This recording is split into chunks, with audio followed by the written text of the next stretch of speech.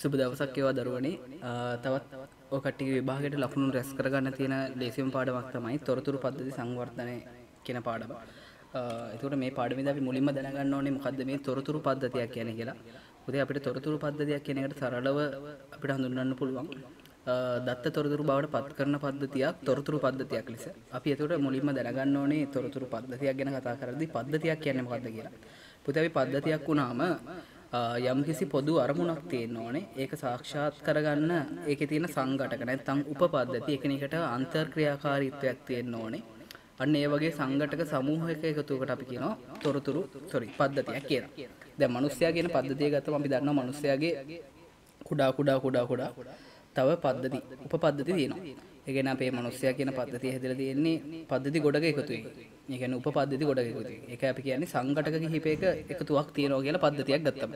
දැන් මිනිස්සයා කියන සමස්ත පද්ධතිය ගත්තම අපේ ඇඟ ඇතුලේ තියෙනවා ආහාර ජීර්ණ පද්ධතිය, බහිස්රාවී පද්ධතිය, ප්‍රජනන පද්ධතිය, අස්ථි පද්ධතිය, සසන පද්ධතිය, ස්නායු පද්ධතිය. ඔය වගේ පද්ධති ගොඩක් එකතු වෙලා තමයි මිනිස්සයා හැදලා තියෙන්නේ. අපේ ওই එක පද්ධතියකට හානියක් සිදු වුණොත් හිතන්න අපේ ස්නායු පද්ධතියට හානියක් සිදු වුණා. සමහරක් වෙලාවට එක පැත්තක් පැරෙන්නේ නැති වෙන ඇඟේ. ඒතර පැරලයිස් වෙන්න පුළුවන්. ඒතර ඒ වගේ ඔයාගේ එක පද්ධතියක හතර හරි මේ සංකටක අතර තියෙන මොකක් හරි බැඳීමක් ඒවල අතර තියෙන අන්‍යෝන්‍ය සම්බන්ධතාවය නැති වුණොත් සමස්ත පද්ධතියට මේක බලපෑමක් ඇති වෙන්න පුළුවන්. එතන මේ පද්ධතියක් ගත්තම පුතේ පද්ධතිය හැම පද්ධතියකටම තියෙනවා බවුන්ඩරි එකක්. පද්ධති සීමාවක් තියෙනවා. එතුර මේ තියෙන පද්ධති සීමාව. ඉතුරු පද්ධති සීමාවෙන් පිටත ඉන්න කට්ටිය අපිට ඍජුව බලපෑමක් ඇති වෙන්නේ නැහැ. දැන් ඉස්කෝලේ පාසලක් ගත්තම පාසලේ ඉන්න ඇතුළේ තියෙන උපකරණ සහ ගුරුවරුන් ඊට පස්සේ විදුහල්පති අනද්දෙනම කාර්ය මණ්ඩලය මේ කට්ටිය තමයි පද්ධති සීමාව ඇතුළේ ඉන්නේ. එතනින් පිටිපස්සේ ඉන්නවා දෙමව්පිය ඉන්නවා ආදි ශිෂ්‍ය ඉන්නවා. උදේට දැන් හිතන්නකෝ උදේ ඉස්සරහ කඩේ ඇරලා තියෙන දවසට ළමයි එකකින් ආහාර පාන අරන් එනවා. හැබැයි ඒ කඩේ වහලා තිබ්බ කියලා ඉස්කෝලේ පවත්වා ගන්න අපිට බැරි වෙන්නේ නැහැ. අපි ඉදාට කැන්ටිමෙන් කනවා. ඊට පස්සේ ඉස්කෝලේ ආව පාරමානු මාරු කරන්න ඉන්න පොලිස් මහත්මයෙක් දාලා. එයා එදා ඉස්කෝලේ ඇවිල්ලා නැහැ. මේ පාර මාරු ගන්න ඇවිල්ලා නැහැ. හැබැයි එදා ඉස්කෝලේ තියන්නේ නැතුව ඉන්න හේතුවක් නෙමෙයි. හැබැයි ගුරුවරු ස්ට්‍රයික් එකක් කරනවා. සමස්ත පද්ධතියටම බලපෑම වෙනවා. පාසල මොකද කරන්නේ? අපි වහලා දානවා. ඉදිරියට තේරෙනවා පද්ධතියක් ඇතුළේ තියෙන සංගඨනයකට මොකක් හරි තියෙන අන්තර් සම්බන්ධතාවය නැති වුණොත් සමස්ත පද්ධතිය කෙරෙහි මේක බලපෑමක් ඇති වෙනවා. පද්ධතියක මූලික සංඝටක තුනයි පුතේ ආදාන, ක්‍රියාවලිය සහ ප්‍රතිදාන. තොරතුරු පද්ධතියක් ගත්තම අපි අත්තිරු සහ පරිගණක පාදක වශයෙන් තොරතුරු පද්ධති කොටස් දෙකකට බෙදනවා. අපි දන්නවා අතින් තියන් යන තොරතුරු පද්ධතියක් ඉතාමත් අකාර්යක්ෂමයි වර්තමාන ලෝකෙට ගැලපෙන්නේ නැහැ. හැබැයි අපි වර්තමානයේදී ගොඩක් වෙලාට සිස්ටම් එකක් තියන් ඉන්නේ පද්ධතියක් පිළිහිටවන්න අපි පාවිච්චි කරන්නේ පරිගණක පාදක ක්‍රමය.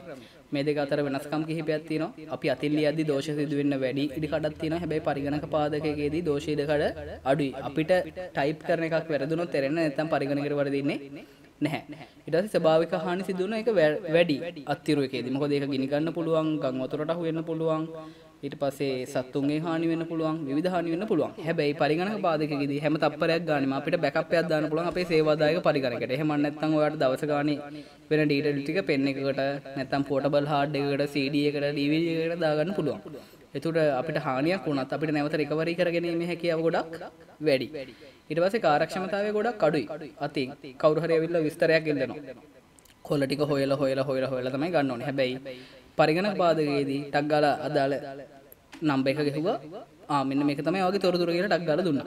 ආරක්ෂාව ගොඩක් අඩුයි. මොකද කවුරු හරි ෆයිල් එක පිටින් අරන් යන්න පුළුවන්. හැබැයි පරිගණකය අරන් ගියත් අපිට ඒකට දාන්න පුළුවන්. එන්ක්‍රිප්ෂන් එකක් එහෙම දාලා කවුරුවක්වත් දත්ත ගත්තර එයාට ඒක නැවත තිබ්බ තත්ත්වයට හදාගන්න බැරි වෙන්න අපිට ආරක්ෂිතව මුරපද යොදලා පාවිච්චි කරන්න පුළුවන්. ඒකට පරිගණකයේ ආරක්ෂාව වැඩි සාමාන්‍ය ක්‍රමයට වැඩි. ඊට පස්සේ ලිපි ලේඛන අසුරා තැබීමට විශාල ඉඩක් යනවා. හිතන්න ලංකාවෙම දත්ත ඕනේ අපිට. එක පරිගණකයේ තියාගන්න පුළුවන්. හැබැයි අපිට බිල්ඩින් එකක් ගත්තොත් ඕක බිල්ඩින් විශාල ප්‍රමාණයක් ඕන වෙනවා. ওই දත්ත ටික තියාගන්න. ඊට පස්සේ ගෙනව තොරතුරු සොයා ගැනීමට විශාල කාලයක් ගත වෙනවා. අපිට මොනවා හරි විශාල ගබඩාවක තියෙන තොරතුරක් අතින් ලියලා තියෙන්නේ. ඒක ෆයිල් එක හොයන්න කියනවා. ලේසි නෑ. අපිට ලොකු වෙලාවක් යන්න පුළුවන්. හැබැයි අපිට පරිගණක බාධක ක්‍රමය නම් මොකක් හරි එකකට අදාළව කෝඩ් එකක් හරි එහෙම නැත්නම් රහස්‍යංකයක් හරි මොනවා හරි දෙයක් ඇති ඒක ගහපු ගමන් අපිට අදාළ ෆයිල් එක ලේසියෙන්ම හොයාගන්න පුළුවන්.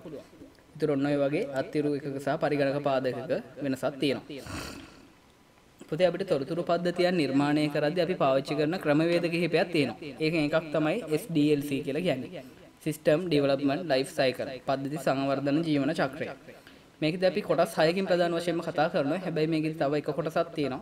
අවශ්‍යතා හඳුනා ගැනීම යටතේ අපිට තියෙනවා ශක්්‍යතා අධ්‍යයනය කියලා කොටසක්. ඒක ගොඩක් වෙලාට ඉඳලා හිටලා ප්‍රශ්න අහන්නේ අපි ඒක අවසානයේ කතා කරමු. මොකද්ද මේ ශක්්‍යතා අධ්‍යයනයක් කරලා කරන්න කියලා. ඔන්න දැන් අපි පුංචි ව්‍යාපාරයක් පටන් ගන්න යන්නේ. අපි මේ ව්‍යාපාරේ කරගෙන යනවා. ඔන්න ඉතින් මට ටික කාලයක් යද්දී මට තේරෙනවා මේ ව්‍යාපාරය ඇතුලේ යම්කිසි ගැටලු තත්ත්වයක් තියෙනවා. හොරකම් සිද්ධ වෙනවා වෙන්න පුළුවන් නිකන් අකාර්යක්ෂමතාවයක් තියෙනවා. ඉතින් මට ඒව නැති කරගන්න මට ඕන වෙනවා සිස්ටම් එකක් හදාගන්න. ඔන්න මං සිස්ටම් හදන කම්පැනි එකට කෝල් එකක් දීලා කියනවා මට සිස්ටම් එකක් හදලා ඕනේ. ඉතින් මොකද කරන්නේ මේ කට්ටිය?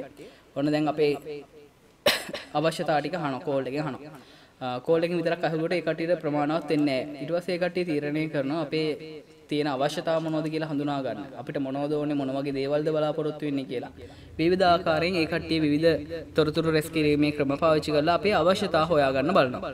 ඒකත් තමයි නිරීක්ෂණය කරලා. ඒ කියන්නේ මේක කරන්නේ ගොඩක් වෙලාවට පුතේ සිස්ටම් ඇනලයිසර්. පද්ධති විශ්ලේෂක තමයි මේ දේවල් වලට දායක වෙන්නේ. ඉතින් නිරීක්ෂණය කරනවා කියන්නේ ගිහිල්ලා හොරෙන් බලන් ඉන්නවා. කොහොමද අපි මේ ව්‍යාපාරය ඇතුළේ වැඩ කරන්නේ? මොනවද කරන්නේ? මොන වගේ ප්‍රශ්න දෙය කට්ටියට එන්නේ? මේ කට්ටිය කොහොමද ඒව කරන්නේ? ඒතර මේ බලන් ඉඳලා නිරීක්ෂණය කරලා තොරතුරු රැස් කරනවා. එකක් එක කියලා කරන්නේ නැහැ. කියලා කරොත් අපිට බලාපොරොත්තු වෙච්ච ප්‍රතිඵලෙම ලැබෙන්නේ නැති හින්දා. දෙවෙනි එක සම්මුඛ සාකච්ඡා. කඩේට ඇවිල්ලා අපිත් එක්ක මූණට මූණ බලාගෙන මීටින් එකක් තියලා ඒ කට්ටිය කතා කරනවා. ඔන්න අපි සම්මුඛ සාකච්ඡාවක් තියන්න පුළුවන්. ඊට පස්සේ ලොකු ව්‍යාපාරයක් වගේ අපිට ප්‍රශ්නාවලි දෙනවා. ඒ කට්ටිය විස්තර ලියලා අපිට හරි වැරදි දාන්න තියෙනවා. දැන් ගාමන්ට් එක වගේ නම් ලොකු සේවක ප්‍රමාණයක් ඉන්නවා. ඒ කට්ටියගේ දැනුම එහෙම අපිට බලා ගන්න ඕනේ, පරිගණක පාවිච්චි කරන්න පුළුවන්ද කොහොමද කියලා විස්තර හොයා ගන්න ඕනේ. ඒකින්ද අපි ප්‍රශ්නාවලියක් දෙනවා. පොඩි පේපර් එකක් දෙනවා. හරි වැරදි දාන්න, yes no answer ලියන්න, ඉරක් ගහන්න. ඒ වගේ තියෙන ප්‍රශ්න පහක 10ක පොඩි ප්‍රශ්නාවලියක් දීලා අපිට තොරතුරු රැස් කරගන්න පුළුවන්. ඊට පස්සේ තොරතුරු හෝ ලිපිගොනු වාර්තා. අපි කොහොමද මේ මේ ව්‍යාපාරය පවත්වාගෙන ගියේ?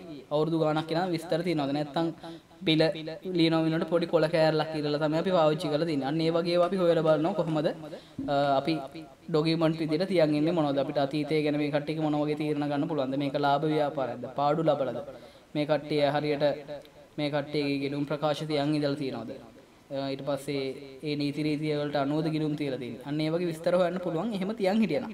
හැබැයි එහෙම මොනවත් නැත්නම් අපි මේ සොෆ්ට්වෙයාර් එක නිර්මාණය කරන්නේ අපි හදන දවසේ ඉඳන් ඉස්සරහට. මොකද අතීතයේ විස්තර අපිට ඒක දෙවලුත් කරන්න බැහැ.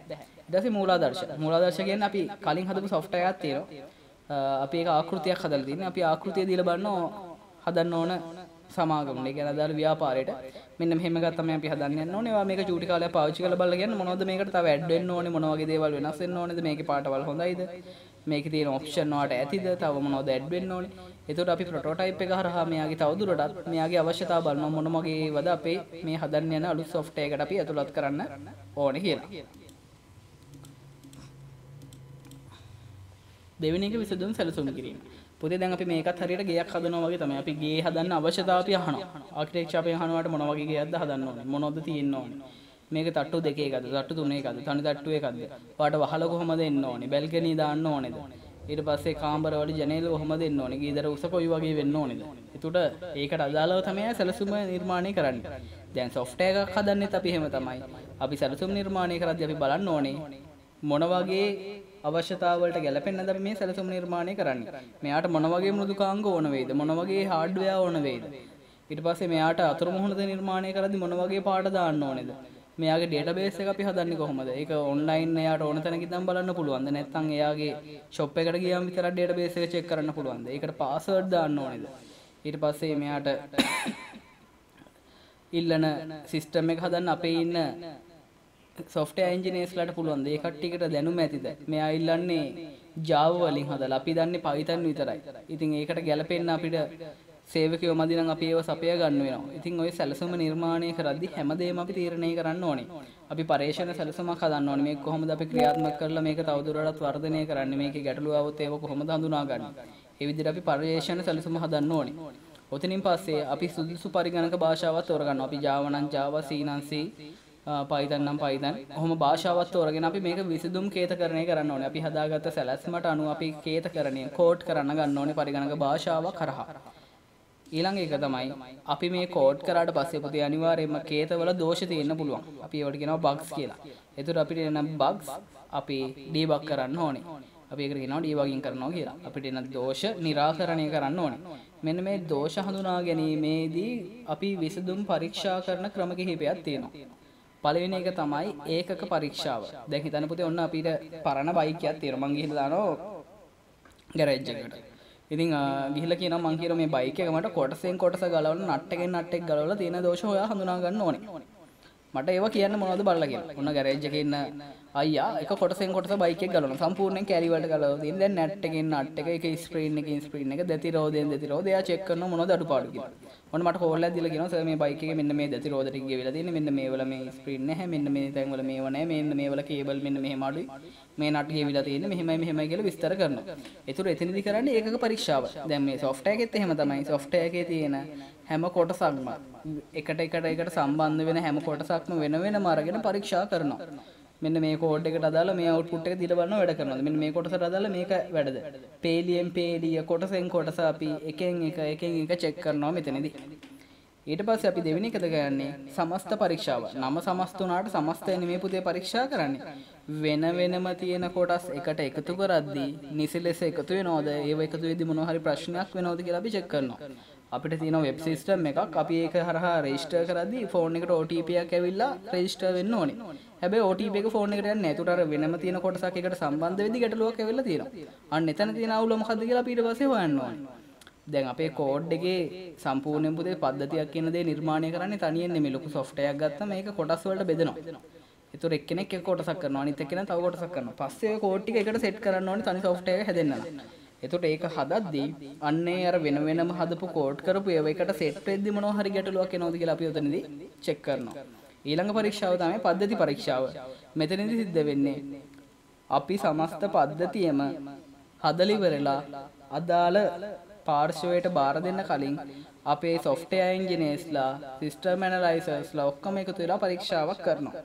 ඒතර මෙන්න මේ පරීක්ෂාව තමයි පද්ධතියේ පරීක්ෂාව. දැන් අර මම බයික් එක හදන්න දුන්නනේ. බයික් එක හදන්න දුන්නට පස්සේ එයා බයික් එකේ කොටසෙන් කොටස පරීක්ෂා කරා. ඊට පස්සේ බයික් එකේ කෑලි කෑලි කෑලි කිහිපය කිහිපය තැනින් තැන එන්ජින් එකේ කොටස් වෙනස් කරා. එකට සෙට් කරා, රෝදේට අදාළ කොටස් වෙනම සෙට් කරා.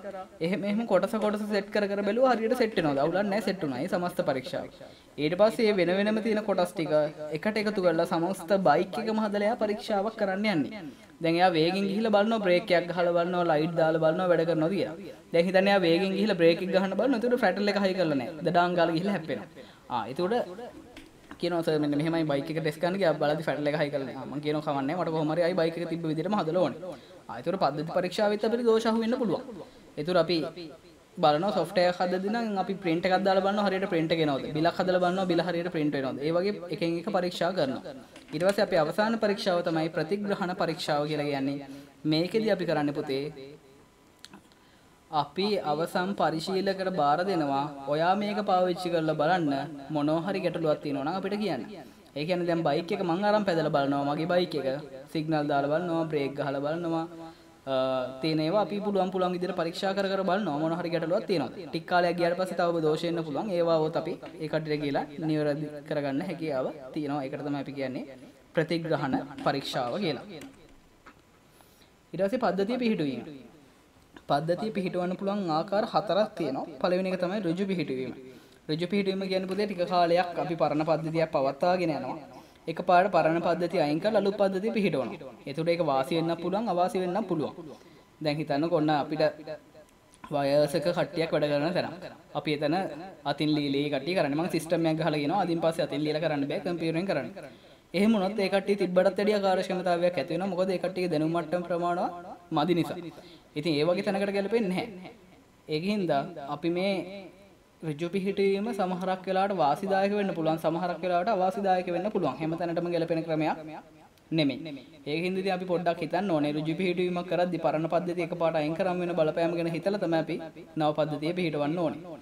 දෙවෙනි පිහිටුවීමේ ක්‍රම තමයි සමාන්තර පිහිටුවීම පරණ පද්ධතිය යන ගමන් අලුත් එකක් පිහිටවනවා. එතකොට ටික කාලයක් පද්ධති දෙකම එකට පාවිච්චි කරනවා. අර වයසක කට්ටියට කියනවා අලුත් එකක් පාවිච්චි කරන්න, පරණ එකක් පාවිච්චි කරන්න. ඔය අතින් ලියන ගමන් කම්පියුටර් එක පාවිච්චි කරලා මේ දේවල් කරලා බලන්න. එතකොට ටික කාලයක් යද්දී ඒ කට්ටිය කියනවා ආ අතින් ලියනට වැඩි මේ වැඩේ ලේසියි. මේකෙන් කරා නම් අපිට ලේසියි. ආ එතකොට ඒ කට්ටිය ටික කාලයක් ගිහිල්ලා පද්ධති දෙකම එකම කාලයක් ක්‍රියාත්මක වෙලා පරණ පද්ධතිය සම්පූර්ණයෙන්ම අයින් කරලා ඊට පස්සේ අලුත් පද්ධතිය තෝරගෙන ඉස්සරහට යනවා. ඒක තමයි සමාන්තර පිහිටුවීම කියලා කියන්නේ. පුතේ මේවා මීට වැඩි විස්තර කරලා අපි කතා කරනවා දැන් මේ මතක් කිරීමක් විතරයි කරන්නේ ඊට පස්සේ කියනවා නියමුමය පිහිටවීම මේකෙදි වෙන්නේ අර දැන් ලංකාව ඇතුලේ තෝරගත් ඉස්කෝල 160 ගානක මේ වෙද්දි පයිලට් ප්‍රෝග්‍රෑම් එකක් ක්‍රියාත්මක වෙනවා අධ්‍යාපන ප්‍රතිසංස්කරණ සම්බන්ධයෙන්. ඒතර අලුත් සිලබස් එකක් ක්‍රියාත්මක කරලා බලනවා ලංකාවේ තෝරගත්ත ඉස්කෝල කිහිපයක. ඒතර මේ වෙද්දි සමස්ත සිලබස් එක නිර්මාණය කරලා ඉවරයි. සීළු දේවල් නිර්මාණය කරලා ඉවරයි. ඒවලට අදාළ වැඩ, ඇසයින්මන්ට් හැමදේම හදලා ඉවරයි. සමස්ත පද්ධතියම හදලා පිහිටවල බලනවා තෝරගත්ත තැන් කිහිපයක. එතුට ඒක ස්ථාපනය කරලා බලලා බලනවා ඒ තැන් කිහිපේම ඒක සාර්ථකද අසාර්ථක තැන් තියෙනවා නම් ඒවා ඇයි අසාර්ථකුනේ එතකොට 100ට වැඩි ගාණක් ප්‍රොජෙක්ට් එක තෝරගත්ත ඉස්කෝල සාර්ථක නම් මුළු රටේම මේක ව්‍යාප්ත කරලා අසාර්ථක වෙච්ච තැන් ටිකක් සාර්ථක වෙන්න හේතු හොයාගෙන අපි මේ ප්‍රොජෙක්ට් එක දිගටම ක්‍රියාත්මක කරනවා. එතකොට මේක සමස්ත පද්ධතියක් හදලා තෝරගත්ත තැන් කිහිපයක් ක්‍රියාත්මක කරලා බලනවා මේක හරියනවද කියලා. පරණ පද්ධතිය යන ගමන්ම. ඒතර පරණ පද්ධතිය අනිත් ඉස්කෝලවල නේනවා අලුත් පද්ධතිය තෝරගත්ත ඉස්කෝල කිහිපයක යනවා. අපිට තේරෙනවා අලුත් පද්ධතිය ගැලපෙනවා අපේ සිස්ටම් එකට කියලා. පරණ පද්ධතිය සම්පූර්ණයෙන් කළා මුළු රටේම අලුත් අධ්‍යාපන ක්‍රමය පිහිටවනවා. අන්න ඒ වගේ දෙයක් තමයි නියමුමේ පිහිටවීමේදී වෙන්නේ. අන්තිම එක අධීරමේ පිහිටවීම. ඒකෙදි වෙන්නේ පුතේ සමස්ත මෘදුකාංගයම නිර්මාණය කරන්නේ නැහැ. මෘදුකාංගයෙන් කොටසක් තමයි නිර්මාණය කරන්නේ. ඒතර මේකෙදි සොෆ්ට්වෙයාරකින් කොටසක් නිර්මාණය කරනවා. දැන් පුස්තකාලේ ඉන්න අපි මිස් කෙනෙක් ඉන්නවා. එයාට කිසිම පරිගණක දැනුමක් නැහැ. එතකොට එයාට එකපාරට පරිගණක පද්ධතියක් දීලා හරියන්නේ නැහැ. අපි කියනවා මිස් ඔයාලට මුලින්ම මේකේ පොත් ඇඩ් කරන්න මං හදලා දෙන්නම්. එතකොට සිස්ටම් එක සම්පූර්ණයෙන් හදලා නැහැ. පොත් ටික රෙජිස්ටර් කරන විදිහ විතරක් හදලා තියෙනවා. ඊළඟ සතියේ වෙද්දි මං කියනවා දැන් ඕක පුළුවන් අපි දැන් පොත් නිකුත් කරන්න පුරුදු වෙමු. අපි මුලින්ම නවල්ස් නිකුත් කරන්න මේ කොටස මං ඇඩ් කරන්න. ඒතර ඔන්න අපේ software එක අප්ඩේට් කරනවා නවල්ස්. ඔහොම ඔහොම සතිය ගානේ සතිය ගානේ එයාට අලුත් දේවල් කියලා දෙදී software එක වර්ධනය කරනවා.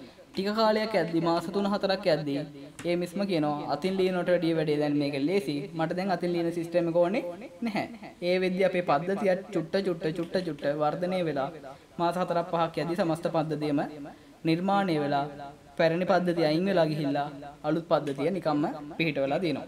ඒතර අපි ඒකට කියනවා අධීරමය පිහිටුවීමේ ක්‍රමය කියලා. ඔතනින් පස්සේ අපි යනවා පද්ධති නඩත්තු අධීරයට. පුතේ මෙතනදී වෙන්නේ මේන්ටේන් කරන එක. ඒ කියන්නේ අපි මෙතනදී ජාල පරීක්ෂා කරනවා, පද්ධති අපි ලබා දුන්න මෘදුකාංගවල මොන හරි ගැටලු තියෙනවා නම් ඒව निराකරණය කරනවා. අපි ලබා දුන්න දුඩාංග වලට වගකීම් කාලයක් සහිතව අපි ලබා දෙන්නේ. ඒ වගකීම් කාලය තුළ දේවල හානියක් තියෙනවා නම් ඒව හදනවා. මේ සියල්ලම නඩත්තු අධීරයේදී අපි සිද්ධ කරනවා. ඔතනින් පස්සේ අපිට පද්ධති සංවර්ධන ආකෘති කිහිපයක් තියෙනවා. ඔතන විභාගෙදි පුතේ අහන්නේ ඔය කට්ටිය ප්‍රධාන වශයෙන් දෙකයි. දියලි ආකෘතිය සහ පුනර්කරණ වෘද්ධි ආකෘතිය.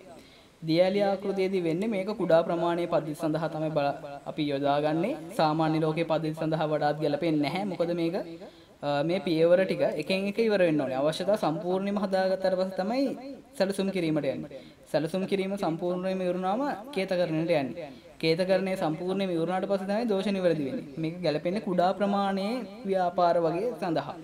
ඉතින් මේක අවශ්‍යතාව දැන් කවුරු හරි කියන පද්ධති පිහිටවීමේ අධීරයට ගිහිල්ලා මගේ අවශ්‍යතාව වෙනස් වෙනවා කියලා කියනවා. ඒතර එයාට සිද්ධ වෙනවා ආයි මුලින් ඉඳන් සමස්ත software එක ආයි මුලින් ඉඳන්ම සැලසුම් කරලා නිර්මාණය කරන් එන්න.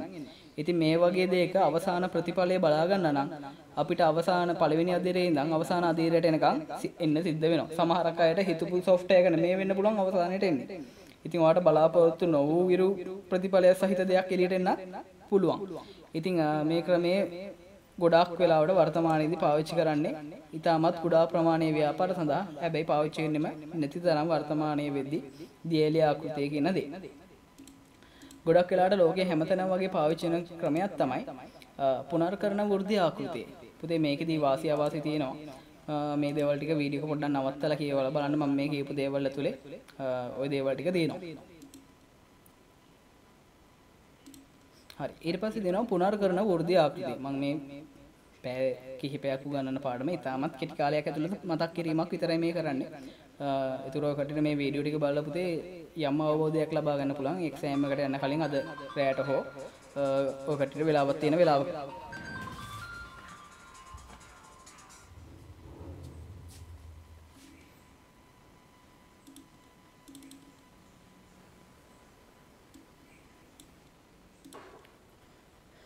හරි එතකොට පුතේ මේ පුනර්කරණ වෘද්ධි ආකෘතිය තමයි වර්තමානයේ ගොඩක් පද්ධති වලට පාවිච්චි කරන්නේ. හැබැයි මේක විශාල ප්‍රමාණයේ පද්ධති සඳහා තමයි අපි භාවිතා කිරීම සිද්ධ වෙන්නේ.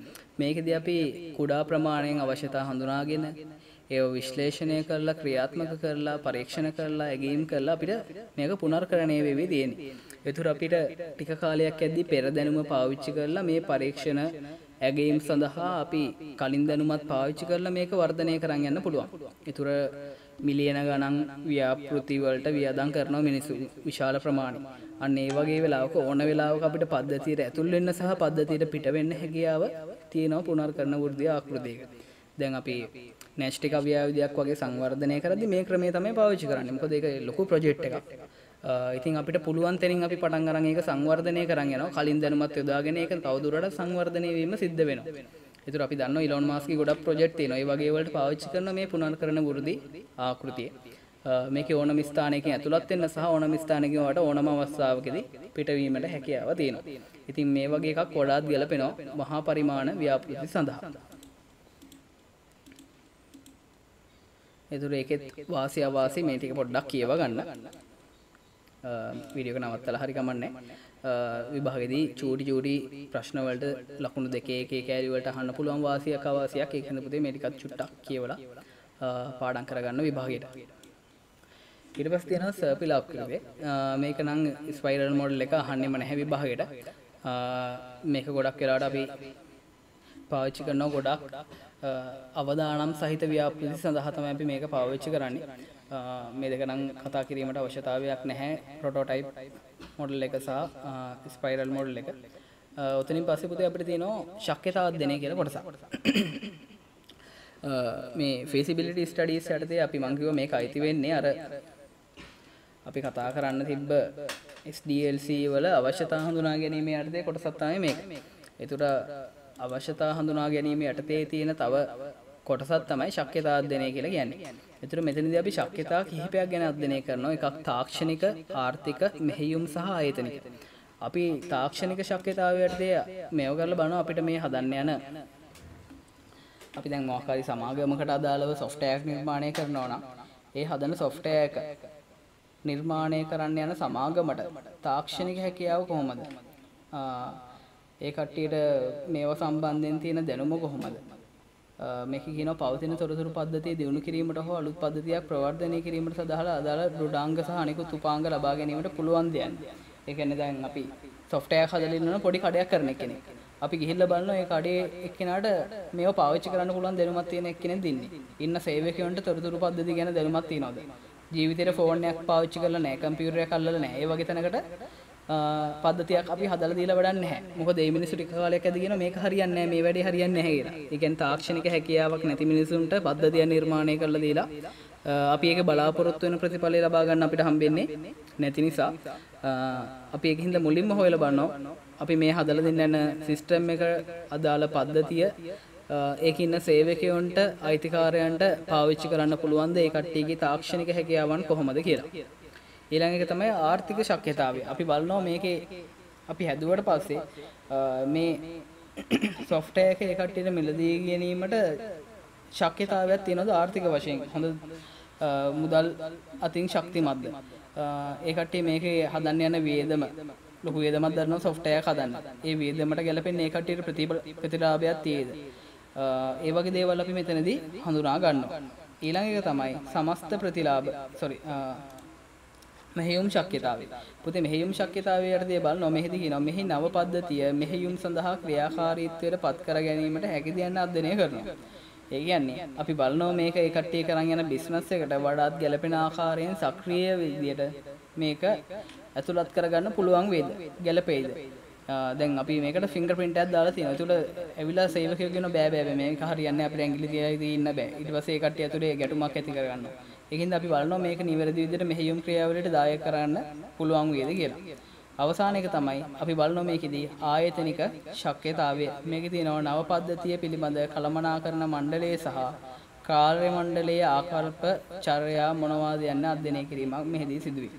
දැන් ඒකේ ඉන්න ගොඩක් අය ඉන්නේ අඩු ආදායම් ඒ වගේම ඉගෙන ගැනීම ගොඩක් දුර්වල මට්ටමේ තිබ්බ අය තමයි සේවකයෝ විදිහට ඉන්නේ. ඉතින් ඒ කට්ටියගේ අධ්‍යාපන මට්ටම් එක්ක බලද්දී ඒ කට්ටිය කැමති වෙන්නේ නැහැ පරිගණකයක් හරහා මොන හරි සිස්ටම් එකක් කරහා වැඩ කරන්න. ඒ කට්ටිය කෙලින්ම කියන බෑ බෑ අපිට මේක හරියන්නේ නැහැ මේක තේරෙන්නේ නැහැ අපිට මේව කරන්න පුළුවන්ද කිය කෙලින්ම මැසිවිලි නගන්න ගන්නවා. අන්න ඒ වගේ අපි බලනවා ආයතනික ශක්්‍යතාවය. මේ වගේ ව්‍යාපාරයකට මේ සොෆ්ට්වෙයාර් එක ගැලපෙයිද? අපි ඔන්න ඔය ශක්්‍යතා හතර ප්‍රධාන වශයෙන්ම අපි සලකා බලනවා. ෆේසිබිලිටි ස්ටඩීස් යටතේ ඔන්න ඔය ටික තමයි අපිට පාඩම යටතේ කතා කරන්න තියෙන්නේ. මේකට අදාළ පුතේ පාස් පේපර් හැම අවුරුද්දකම කරලා බලන්න හරිම ලේසි පාඩමක් ඔයාලට විභාගයට ඕන ලකුණු ටික රැස් කරගන්න තියෙන හරිම සරල පාඩමක් තමයි SDLC තොරතුරු පද්ධති පාඩම කියලා කියන්නේ.